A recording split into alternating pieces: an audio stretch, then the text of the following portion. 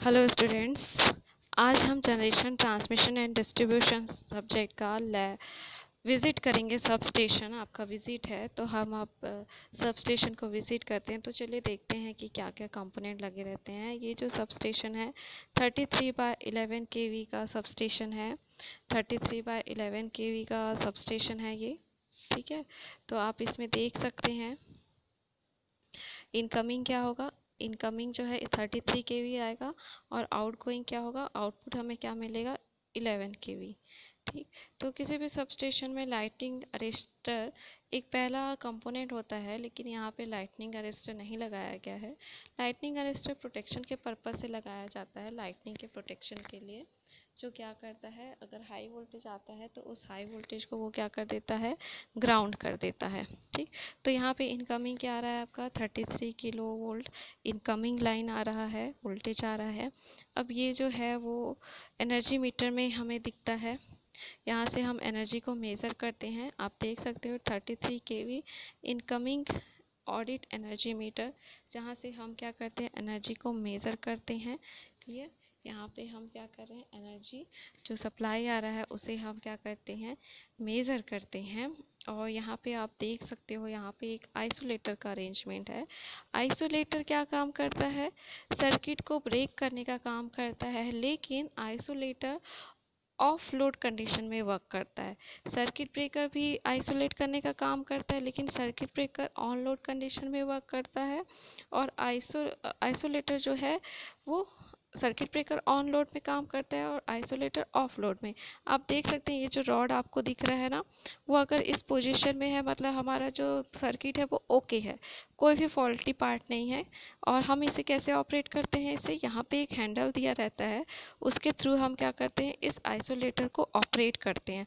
अगर कोई फॉल्ट आ गया तो इस हैंडल को ऑपरेट करके हम ये जो रॉड दिख रहा है, उसको ओपन कर देते हैं। मीन्स जो पार्ट आपका फॉल्टी है, वो पूरा सर्किट से अलग हो जाता है, अब आप उसको रिपेयर कर सकते हो। क्लियर तो ये होता है आपका आइसोलेटर यहाँ से अब हमारा सप्लाई जा रहा है थर्टी थ्री के वी अब, यहाँ पे thirty three K V line जा रहा है। Thirty three K V supply मिल रहा है कि नहीं, इसको मेज़र करने के लिए हमने क्या लगाया है? एक thirty three kilo volt power potential transformer लगाया है। पोटेंशियल ट्रांसफार्मर क्या करता है? वोल्टेज को मेज़र करता है। हाई वोल्टेज के लिए हम क्या यूज़ करते हैं? पोटेंशियल ट्रांसफार्मर यूज़ करते हैं। तो यहाँ पे क्या लगाया गया है? 33 किलो वोल्ट पोटेंशियल ट्रांसफार्मर जो किसमें कनेक्टेड रहता है आपका? पैलर में कनेक्टेड रहता है। क्लियर उसके बाद आप देख सकते हो आगे क्या है, यहाँ पे आप देखोगे, यहाँ पे आपको ए बी स्विच दिख रहा है। ए बी स्विच मीन्स क्या होता है? एयर ब्रेक स्विच ठीक है? ये भी क्या करता है? हेल्थी और फॉल्टी पार्ट को आइसोलेट करने का काम करता है। यहाँ पे आप देख सकते हो तीन एयर ब्रेक स्विच लगे हैं ए बी स्विच लगे हैं। ये भी क्या काम करेगा? हेल्दी और फॉल्टी पार्ट को क्या करता है? आइसोलेट करता है क्लियर तो यहाँ पे हमने एयर ब्रेक स्विच लगाया, आप देख सकते हैं किस टाइप का दिखता है एयर ब्रेक स्विच उसके बाद हमने यहाँ पे क्या यूज़ किया है? यहाँ पे यहाँ पे हमने यूज़ किया है ए बी स्विच देख सकते हैं. उसके बाद हमने यहाँ पे क्या लगाया है? सर्किट ब्रेकर लगाया है. ये जो आप देख रहे हैं वो क्या है? सर्किट ब्रेकर है. Thirty three K V vacuum circuit breaker V C B that is vacuum circuit breaker high voltage के लिए हम S F six circuit breaker use करते हैं। यहाँ पे हमने वैक्यूम सर्किट ब्रेकर यूज़ किया है। अब देखिए ये किससे है? यहाँ पे आपका ये जो दिख रहा है ना सामने, वो क्या है? Thirty three K V C T unit मतलब क्या है? करेंट ट्रांसफार्मर है। करेंट ट्रांसफार्मर करेंट को मेज़र करेगा। फॉर एग्जांपल अगर करेंट ट्रांसफार्मर का रेटिंग है कि one thousand oblique one ampere one thousand to one ampere means अगर इनकमिंग वन थाउज़ेंड है तो करेंट ट्रांसफार्मर उसको क्या मेज़र करेगा? वन एम्पियर अगर इस करेंट ट्रांसफार्मर से एक पॉइंट किससे कनेक्टेड रहता है? रिले से. रिले क्या है? आपका एक सेंसिंग डिवाइस है, जो फॉल्ट को क्या करता है? सेंस करता है.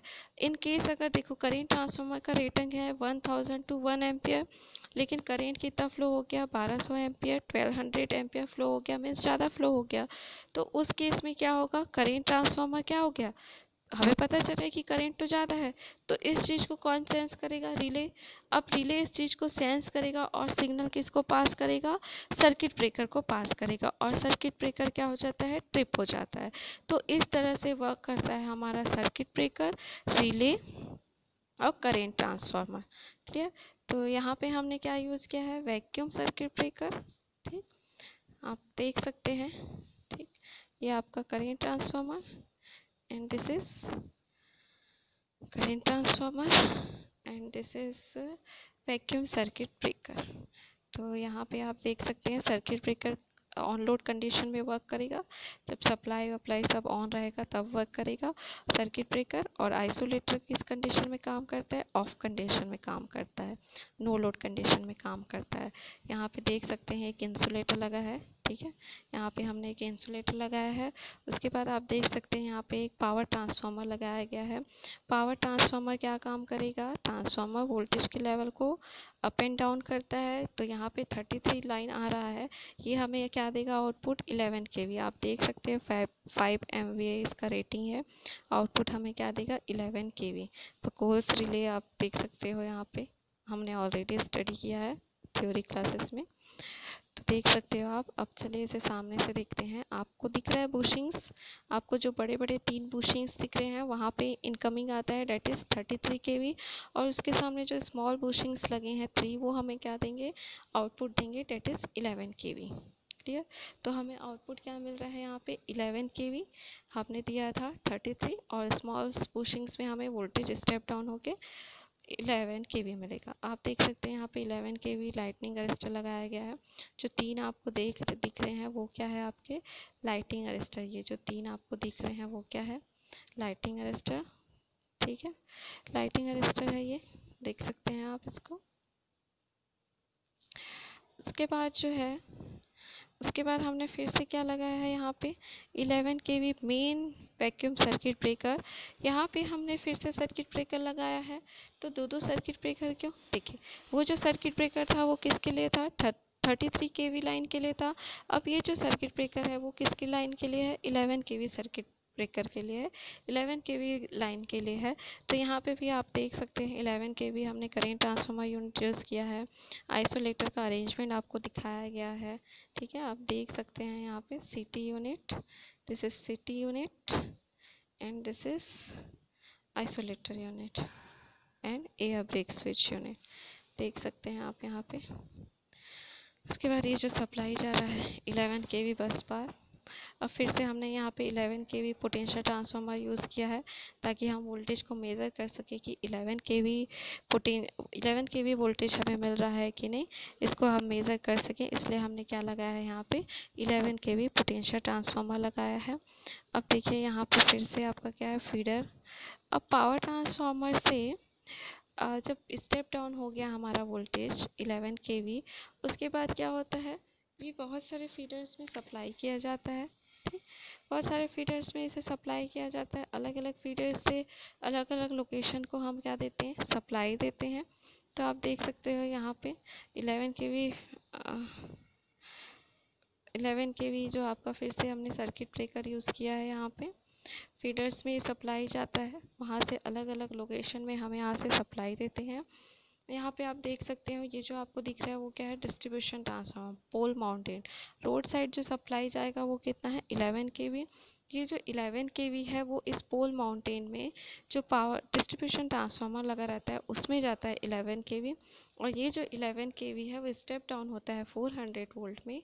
अगर आप किसी भी दो फ़ेज़ के बीच में वोल्टेज देखोगे तो 400 वोल्ट मिलता है और एक फ़ेज़ और एक न्यूट्रल के बीच में अगर आप वोल्टेज देखोगे तो कितना मिलेगा आपको? Two thirty volt.